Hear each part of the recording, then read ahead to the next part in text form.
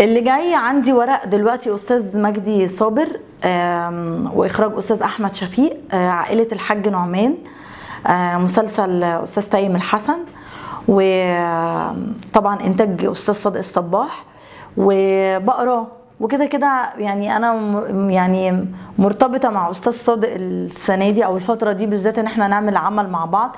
فلسه هشوف إذا كنت هدخل المسلسل ولا لأ و... وعندي فيلمين مع الحاج أحمد السبكي. هخرج من عندكم هنا عليه. فلسه بقى بشوف ربنا يسهل بإذن الله.